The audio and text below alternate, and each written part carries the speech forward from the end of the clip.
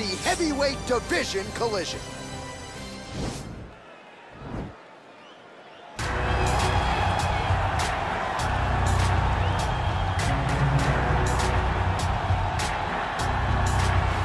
Well, pretty much every time out in the UFC, DC, this man has put on a striking clinic, and that is his methodology coming in here tonight. He'll try to keep the fight on. And that's why we tune in, right? That's why we tune in. We tune in to see guys that are dynamic. We tune in for the speed. We tune in for the knowledge of the striking game, the ability to set traps, the ability to find the jab, the ability to find the right hand, the right kick, the left kick, the knees, the elbows. He truly uses every weapon that he has in his arsenal to try and finish his opponent. You make one mistake, night's over. You cannot make mistakes against a guy that has the striking acumen Yeah. of this guy right here. And the jab is not as underutilized a weapon as it was in MMA, say, five or seven years ago, but he's got as good a jab as anyone in the business, and that is where all of his striking flows off of. We'll see how it goes for him in this matchup tonight. Well, this is exciting here, DC. The founder of Jeet Kune Do, one of the founding fathers, really, of mixed martial arts, Bruce Lee, is back in a big spot here tonight. Bruce Lee is what every kid looked to when they thought about doing karate. Bruce Lee is the person that anyone looked at when they said, I want to be a fighter. It was the speed, it was the charisma, it was the approach of Bruce Lee that made him so special. And tonight, he's going to look to show a new generation of fighters exactly how it's supposed to be done. And if you hear the phrase drillers make killers, right? I mean, that was Bruce Lee in a nutshell. He felt like practice Yes, would make yes. perfect. Nobody trained as hard as the great Bruce Lee. Ladies and gentlemen, this is the main event of the evening. And when the action begins, our referee in charge of the Octagon, Dan Miragliotta. And now, this is the moment UFC fans around the world have been waiting for. Live from the T-Mobile Arena in Las Vegas.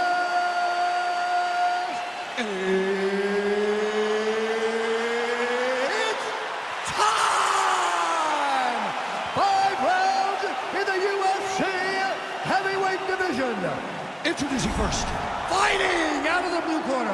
This man is a kickboxer, making his professional debut here tonight. He stands six feet six inches tall, weighing in at 265 pounds. Fighting out of Las Vegas, Nevada, Big Daddy. And now introducing his opponent, fighting out of the red corner. This man is a mixed martial artist making his professional debut here tonight.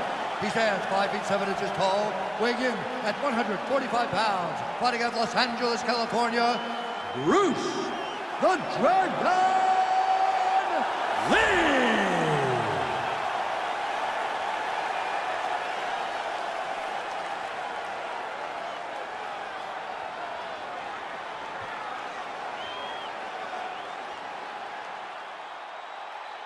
All right, commit to the rules in the locker room. I want you to obey my commands at all times, protect yourself at all times. I want a nice, clean, safe fight. Touch gloves, back your corners, come out fighting.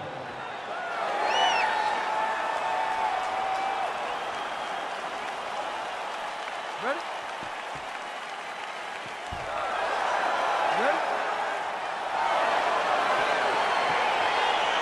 All right, so lofty expectations for this matchup as round one gets underway.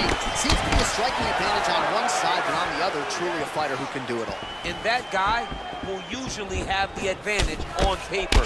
When you're a striker, at this guy's level, that will normally balance out whatever advantage the other guy has.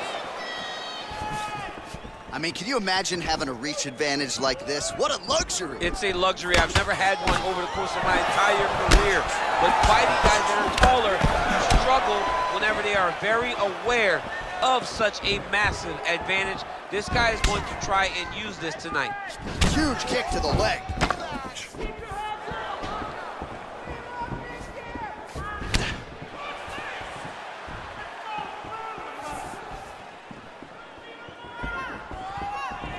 Look at him whip his hip into that kick. Oh, body kick attempt here, it's no good. Well, that'll quiet the storm. Oh,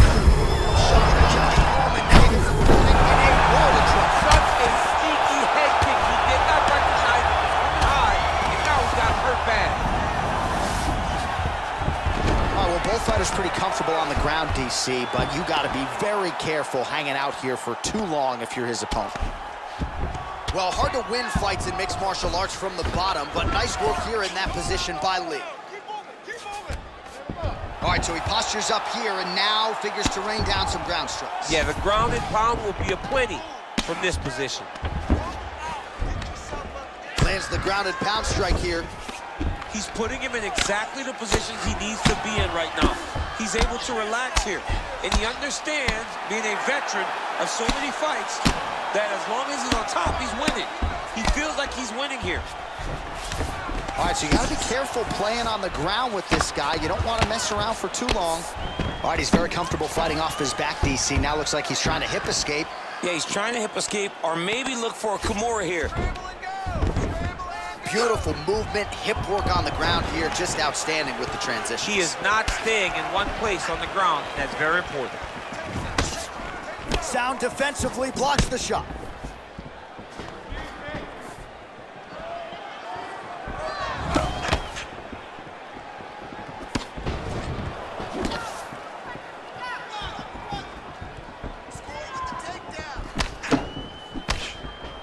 Just missed with the left there. Nice liver shot lands. Oh, straight right.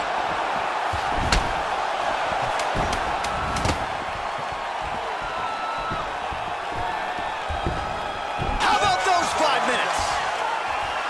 All right, so there's the end of the round, and the tide has officially turned a huge head strike to stun his opponent. We'll see which corner can adjust here moving forward. I mean, they've got to be celebrating. They've got to be happy. Everything's working. But the other side has to be concerned. They have to figure something out, make some sort of adjustment to try to change the tide of this fight.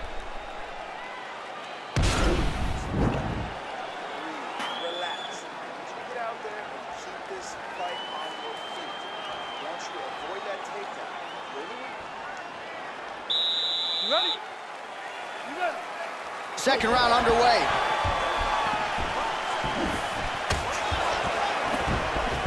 Try to establish that jab. Huge shot right there, DC. You don't want to eat too many more of those. No, and he needs to start looking to finish now because he's got his opponent hurt very bad. Well, he's been pretty accurate tonight. He's landed some significant strikes, but his corner's looking for him to mix it up a little bit more and just throw more volume. because they don't see too much of a threat. This guy has to have confidence in knowing that when he extends his combinations, he's still safe, but he's also going to be able to land. He's got to be finding that confidence in his mind that all the reps in the training room are going to pay off. Throws a big right hand, but doesn't find its home. Big head kick lands. Rips the body there for good measure.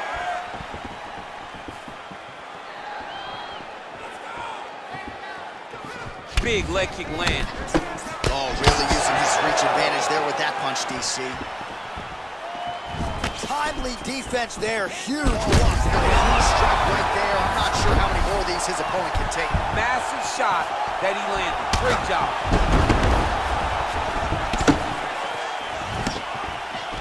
Oh, a little single collar tie there. Oh! Big shots exchanged in the pocket there. Oh! What a fantastic strike to throw at the exact right moment. He deserves this moment. Go finish this fight. Well, he has really picked here in round two. Much more aggressive than we saw in round one, and now starting to find himself in the pocket. Oh, that's a hell of a kick right there. He told us Thursday that he was going to be kick-heavy tonight, and that is certainly a step in the right direction. He is landing that strike very effective. Oh, he's hurt bad. He's hurt bad, John. He's got to press him. He's got to go chase that finish down now. Oh, nice high kick.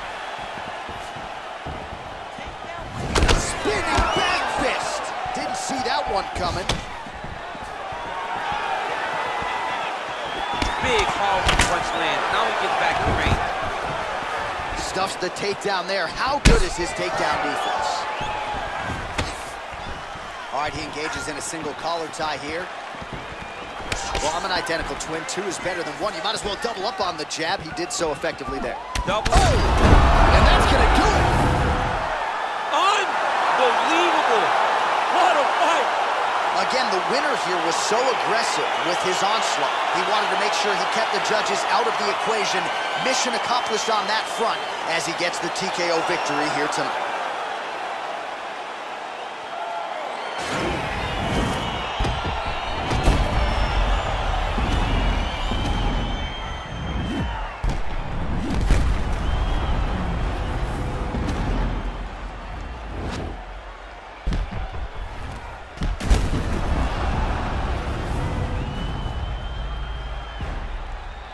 So a seminal moment for him here tonight as he gets the victory by TKO.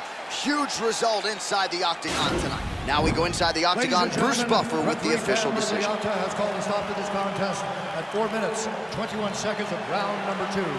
Declaring the winner by TKO, Big Daddy. Well, what a win for that young man tonight by TKO. And the judges were looking at their phones, it's okay. We don't need the scorecards. We don't need your scorecards. Do as you may, proceed as you may, because this guy knew that he had to finish this fight. That's exactly what he did. He got his opponent hurt, found the follow-up shot, and got the finish.